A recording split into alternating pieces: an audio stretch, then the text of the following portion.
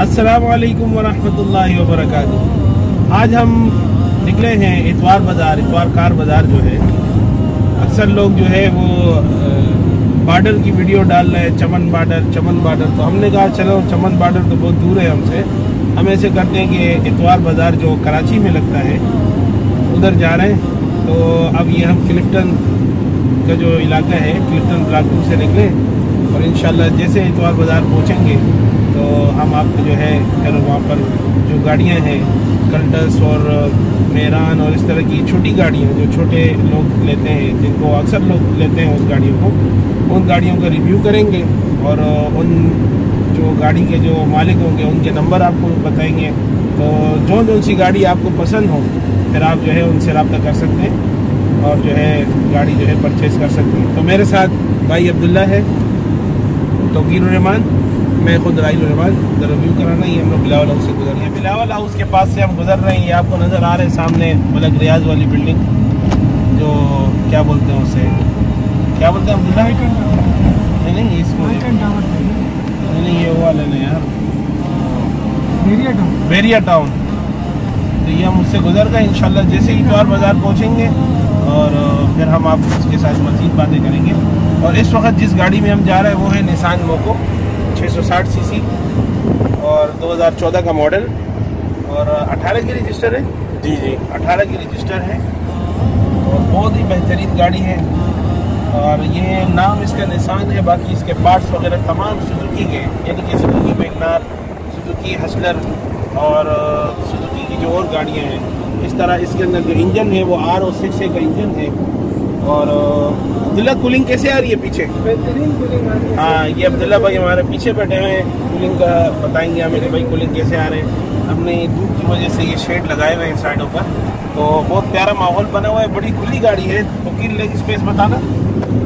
Leg space कितना ही है। देखें मैं बैठा हूँ हालाँकि मैं एक सौ किलो का आदमी हूँ। और जो है मैं कितना स्मूथ होके बैठा हुआ हूँ बिल्कुल ज़बरदस्त किस्म का। अब्दुल्ला पीछे कैसा है लेग स्पेस? और हेड स्पेस माशाल्लाह बहुत खुली गाड़ी है ये। किसान की बहुत बिक्री है। हाँ हमारे पास तकरीबन दो साल से ये गाड़ी है और ये इसके अंदर आप जो है वो बॉक्स वगैरह देख लें। बड़े ज़बरदस्त सिस्टम है, चीज़ें वगैरह, ये कप होल्डर है और क्लाइमेट कंट्रोल एसी है। और मेरे पास तकरीबन ये चल चुकी है। मैं आपको इसका मीटर शो करा हूँ ये मेरे पास तकरीबन, मैंने जब ली थी तो बीस हज़ार किलोमीटर पे ली थी। अभी पैंसठ हज़ार सात सौ पाँच किलोमीटर चल चुकी है। बड़ी ज़बरदस्त गाड़ी है, इंशाल्लाह इस बारे में भी हम मज़ीद जो है आपसे फिर बात करेंगे। अभी ट्रैफ़िक वाले देख लेंगे तो पाँच सौ, बीस रुपये का चालान हो जाएगा। चलिए, ये मान लिया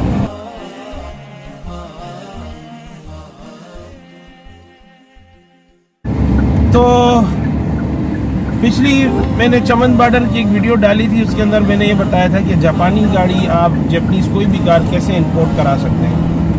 उसका मुकम्मल तरीका इंशाल्लाह मैं आपके साथ शेयर करूँगा। अभी तक की जितनी मुझे मालूम हुई है, उसके अंदर चंद चीज़ें हैं जो आपको ज़रूरत होगी जैपनीज़ गाड़ी मंगाने के लिए। नंबर एक, सबसे पहले तो ये है कि आपके पास किसी जापान में किसी बंदे का कॉन्टेक्ट हो। यानी जापान से जो कोई ऐसा बंदा हो जो आपके एतबार वाला हो। कंपनियाँ बहुत है वेबसाइटें बहुत हैं उन पर मिल जाती है। लेकिन मसला ये है कि उनका भरोसा नहीं है, पता लगे आपके पैसे लेके भाग जाए। तो मेरा तो एक कांटेक्ट है, जापान में एक बंदे के साथ मेरा कांटेक्ट है, अगर आपको मंगानी हो तो आप मुझसे रब्ता कर सकते हैं। तो उसके लिए आपको फिर एक, जब जापान में किसी बंदे का कांटेक्ट होगा, वो वहाँ से गाड़ी ख़रीदेगा, जो है, उसे क्या बोलते हैं, जो बोली लगती है। ऑक्शन से जो है, वो आपके लिए गाड़ी ख़रीदेगा, फिर वो आपकी किस्मत पर है कि वो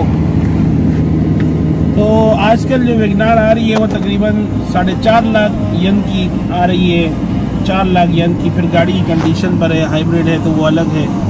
ग्रेड है तो ग्रेड की अलग है। तो ये तर, तरकीब है सारी। तकरीबन मेरा ख्याल है तीन लाख साढ़े तीन लाख चार लाख यन की अगर गाड़ी आ जाती है तो पाकिस्तानी आपके जो है पाँच से छः लाख रुपये या पाँच लाख रुपये आप समझ लें साढ़े पाँच लाख रुपये हो जाते हैं। तो ये सबसे पहली चीज़ तो आपका जापान में कोई कॉन्टेक्ट वाला हो ठीक है? और ये हम जो है ना शार फैसल की तरफ़ अभी टन होंगे। ये जैसे कि आप देख रहे हैं, हम ये तकरीबन सिग्नल से निकल रहे दूसरे नंबर पर आपके पास एक पासपोर्ट होना चाहिए। ऐसा पासपोर्ट कि जो ऐसे बंदे का हो, जो तकरीबन बाहर मुल्क या किसी भी अमेरिका में, इंग्लैंड में कहीं पर भी जो है वो तकरीबन साल, दो साल रह चुका हो। साल डेढ़ साल वो रह चुका हो और पाकिस्तान में आए हुए उसे दो महीने हुए हो। और उसके पासपोर्ट पर जोन सी आप गाड़ी मंगा रहे हैं, उसकी ड्यूटी जितनी लगेगी, मसलन 660 सीसी है, सात से आठ लाख तक की ड्यूटी है और हज़ार सीसी है तो वो भी तकरीबन नौ लाख तक की ड्यूटी हो जाती है उसकी। और इसी तरह अगर गाड़ी आपकी जो है डब्बा शेप है, मसलन एम आर, ये, सुजुकी वेगनार सुजुकी वेगन हो गई एवरी सुजुकी हो गई एवरी वेगन हो गई और क्रीपर हो गई मतलब गाड़ी गाड़ी के ऊपर है। उस हिसाब से आपकी ड्यूटी में अभी करीब में हमने एक गाड़ी जो है लोड की थी हाईजेट 2015 का मॉडल था। तो उस पर तकरीबन ड्यूटी हमारी छः लाख रुपये तक की। सारी चीज़ें मिलाकर लग गई थी पासपोर्ट के अलावा। फिर वो पासपोर्ट की जो है, इतनी ट्रांजेक्शन आपकी बाहर से पाकिस्तान के अकाउंट में जिस बंदे का पासपोर्ट है, उसी बंदे के अकाउंट से हुए हों एक तो ये है। दूसरा ये है कि उस बंदे ने पाकिस्तान में अपने भाई, यानी खूनी रिश्ते के अकाउंट में, कोई भी खूनी रिश्ता हो, वालिद हो, भाई हो, बहन हो, बीवी हो, जो भी हो, बेटा हो, किसी के भी अकाउंट में उतनी ट्रांजेक्शन की हो कि जितनी आपकी ड्यूटी की अमाउंट बनेगी, मसलन सात लाख, आठ लाख तक की, पाकिस्तानी रुपीज़ में। वो डॉलर में हो, पाकिस्तानी रुपीज़ में जितने भी बनते हो, इस तरीके से। फिर उस पासपोर्ट को आपको सील कराना होगा कि भाई, मैं इस पासपोर्ट पर ये गाड़ी है मैं दुबई से या जापान से इसको इंपोर्ट कर रहा हूँ भाई को गिफ्ट कर रहा हूँ, या अपने लिए पाकिस्तान मंगा रहा हूँ तो वो आपकी गाड़ी पर स्टम्प लगेगा और पासपोर्ट पर स्टम्प लगेगा कि आप जो है इस पासपोर्ट पर एक गाड़ी मंगा चुके हैं। फिर वो गाड़ी जो है उस पासपोर्ट पर आप मज़ीद गाड़ी नहीं मंगा सकेंगे दो साल के बाद, दो साल के अंदर अंदर। दो साल के बाद फिर आप दूसरी गाड़ी उसके ऊपर इम्पोर्ट करा सकते हैं। तो आज तक की जो है जापानी गाड़ी के मुतालिक ये दो तीन दो तीन चीज़ें थी जिसकी मैंने मालूम की और आप तक पहुँचाई इन मज़ीद जो इसके अंदर आपको कोई सवाल करना हो, आप कमेंट्स में सवाल करें तो इन मज़ीद फिर मैं मालूम आपको करके दूँगा। क्योंकि मैं खुद गाड़ी एक दो मंगा चुका हूँ, एक दो और भी मंगा रहा हूँ। अभी हमारे पास जो है विट्स अवेलेबल है मीरा अवेलेबल है विज़ल अवेलेबल है। अगर आपको चाहिए हो तो आप मुझसे रबा भी कर सकते हैं। मैं आपको गाड़ी जो है पाकिस्तान में मौजूद जो गाड़ियाँ होंगी, जो कोर्ट से बाहर आ चुकी होंगी, उसके बारे में आपको मालूम दे सकती हैं।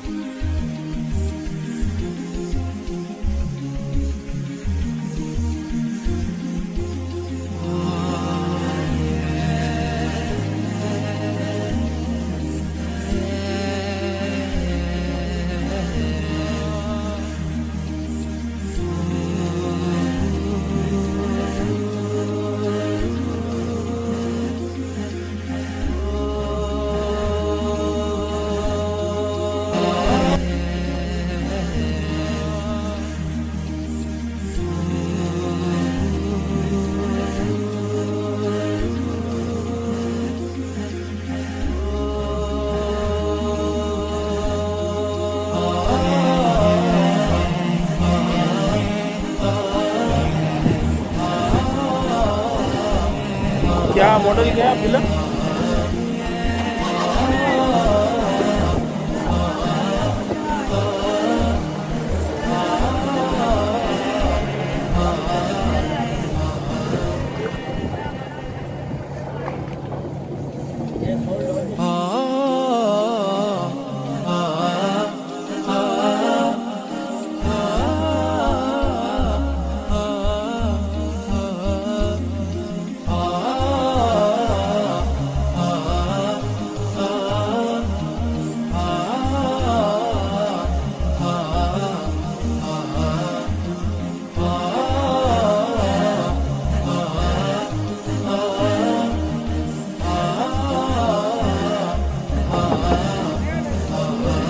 सीसी के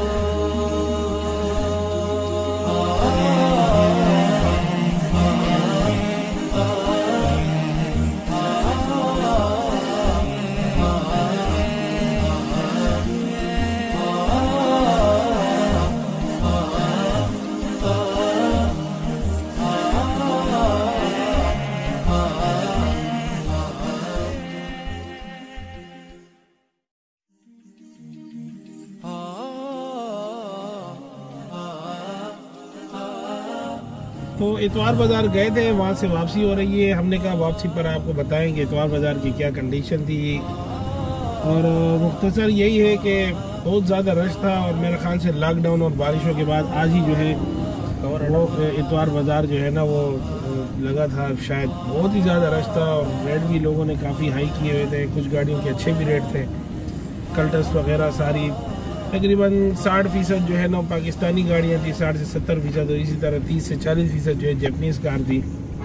तो मुख्तलिफ़ रेट थे टोयोटा एक्जियो टोयटा करोले और इसी तरह जो है एक्स करोला बहुत सारी गाड़ियाँ थी इंडस करोला और बस हमने मुख्तलिफ़ रेट लिए और इस वीडियो में आपके साथ शेयर भी किया। अगर आपको मज़ीद इस तरह की जो है गाड़ियों के जो है रेट वगैरह पूछने हों या किसी गाड़ी के बारे में मालूम करनी हो तो आप हमारे कमेंट्स में लिख सकते हैं। तो इन हम आपको उस बार गाड़ी के बारे में रिव्यू भी देंगे और उस मालिक का नंबर भी देंगे और उसके पैसे भी बताएँगे। फ़ी अमान असल हमारे चैनल को लाइक करें सब्सक्राइब करें और शेयर भी करें। शुक्रिया।